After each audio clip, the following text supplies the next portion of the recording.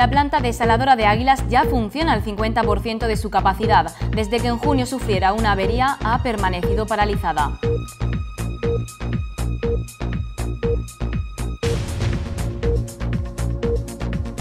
El Hotel Águilas Playa cierra por sentencia judicial. Lo hace en plena temporada de verano y tendrá que reubicar a sus clientes.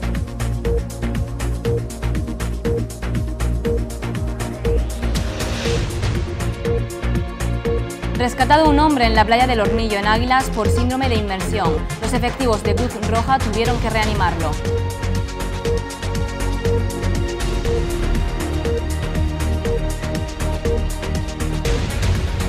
Más de 60 alumnos de la Escuela de Idiomas de Lorca tendrán que estudiar fuera de la ciudad. Cinco cursos se han suprimido por falta de alumnado.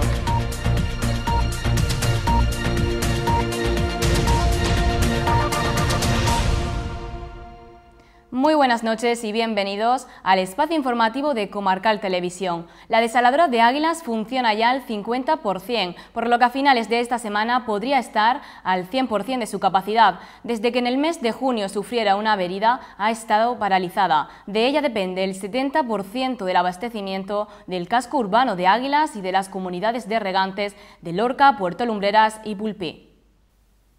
Los regantes afectados por la rotura de la planta desaladora de Águilas están utilizando el agua de los trasvases o los pozos para paliar esta situación como medida provisional. Sin embargo, aseguran que esta agua tiene los niveles de conductividad muy elevados. El agua de los pozos no, no es factible para una plantación de sandía, ni una plantación de brócoli, ni de alcachofa, porque tú no puedes sacar. Entonces, el agua que hay desalada la mezclas con la de los pozos y reduce eh, la conductividad del agua. Sus cosechas no se han visto del todo perjudicadas por la avería porque disponían de agua, pero sí han perdido calidad. La agua de aquí subterránea que sacamos de pozos y, y demás lleva muchas sales. Algunos agricultores aseguran que no tienen suficiente abastecimiento y necesitan que la planta de águilas vuelva a funcionar cuanto antes. En estos momentos el cultivo de las sandías demanda el agua. La mata necesita su, su riego de agua todos los días, su hora de agua, y si no no lo tenemos disponible por ninguna parte, ni por los pozos ni por trasvase, y si la desaladora está rota, pues la plantación a tirarla. Se estima que a finales de esta semana la planta esté al 100% de su funcionamiento para poder abastecer agua a miles de hectáreas de Lorca, Puerto Lumbreras, Águilas y Bulpí. En Águilas, cientos de turistas que tenían sus vacaciones planificadas se quedan sin alojamiento. Este jueves el Hotel Águilas Playa cierra sus puertas por sentencia judicial y en plena temporada de verano. En plena temporada de verano, el Hotel Águilas Playa cierra sus puertas. Imagínense el panorama, más de una centena de veraneantes con sus vacaciones planeadas y de un día para otro se quedan sin alojamiento. Desde el hotel nos dicen que ya han reubicado casi todos los turistas, pero... Pues nosotros anoche llegamos y dice, eh, es que han embargado el hotel. Dice, claro, no se pueden quedar, mañana a ver si les pueden alojar en otro lado. El día que llegamos ya nos dijeron que había muchas posibilidades de que nos, nos tuviésemos que ir y de hecho ya mañana nos vamos. La situación es caótica. A ver si esta tarde lo solucionamos, pero todavía no me han contestado. No nos han dicho nada, ni el hotel ni la agencia. Yo quiero cerca de la playa para tener que coger el coche, no vengo aquí. Y nosotros andando y mayores, pues ya me contarás. Las negociaciones entre el propietario del inmueble y el actual arrendatario no han servido para buscar una solución y por sentencia judicial el alojamiento cerrará. Lo que hemos hecho es ponernos a trabajar hablando con diferentes operadores turísticos para ver si hay alguno interesado por un procedimiento de urgencia en,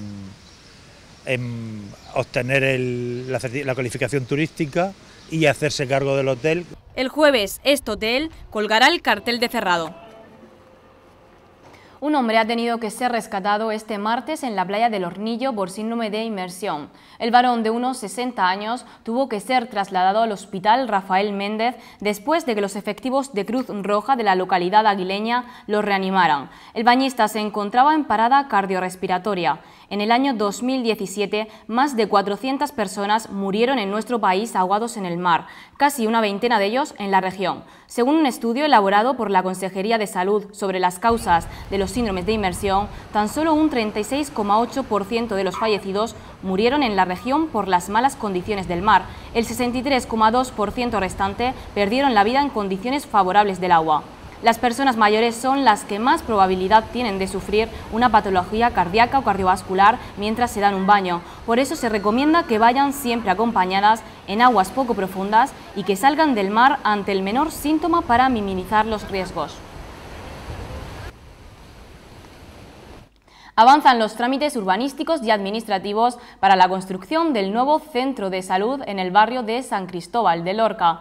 El ayuntamiento cuenta ya con los informes pertinentes de diferentes direcciones generales del Gobierno regional y están a la espera del que debe emitir la Confederación Hidrográfica del Segura. Fulgencio Gil dice que este es el plan más ambicioso por parte del Ayuntamiento en el barrio de San Cristóbal y que se está acelerando al máximo con el objetivo de reducirlo al mínimo tiempo posible. Además del nuevo centro de salud, los vecinos podrán disfrutar de una gran zona verde con parque infantil que se va a construir en una parcela de más de mil metros cuadrados ubicados en las calles Eulogio Beriago, Juan Mínguez y Beato Fray Pedro Soler. Este conjunto de actuaciones se suman a la mejora de más de un centenar de calles del barrio. Los vecinos del barrio de San Juan de Lorca van a poder disfrutar de un nuevo aparcamiento.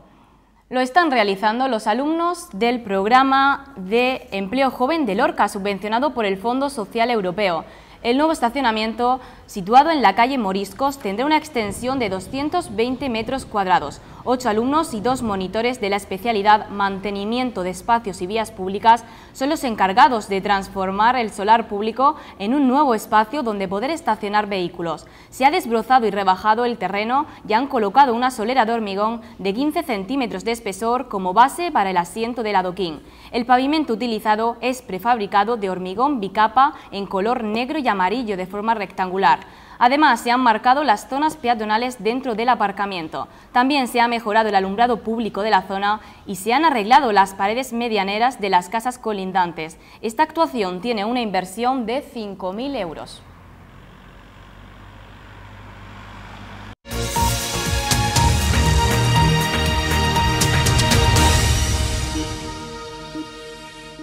El PSOE de Lorca manda un mensaje tranquilizador. Afirman que el AVE soterrado llegará a la Ciudad del Sol de forma paralela a la modernización de los cercanías. La viceportavoz socialista en Lorca, Marisol Sánchez Joda, pide al alcalde que no mienta, ya que la llegada al AVE soterrada a la estación de Murcia es totalmente independiente al proyecto de Sangonera hacia Lorca y Pulpí. Por tanto, afirma que no hay de qué preocuparse, ya que los planes y plazos para la llegada del AVE a Lorca siguen intactos. Los socialistas recuerdan que el Gobierno de España, además, está mejorando la posibilidad de ampliar el trazado soterrado por encima de los 4 kilómetros. El PSOE lorquino quiere desmentir los rumores de que la alta velocidad no llegarán a Lorca. Insisten que el AVE es una realidad y que va a llegar en mejores condiciones de las que el Partido Popular había pactado. Denuncian también que si el servicio de cercanías ha perdido más de un millón de pasajeros en la línea Murcia-Lorca-Águilas es porque no se ha invertido ni un solo céntimo para mejorarlo. Izquierda Unida Verdes de Lorca solicita al Ayuntamiento una inversión definitiva que permita la finalización de la ronda central.